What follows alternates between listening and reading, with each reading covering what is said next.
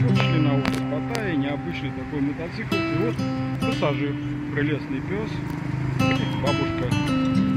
Вот так вот здесь в Таиланде, в Паттайе передвигаются местные люди.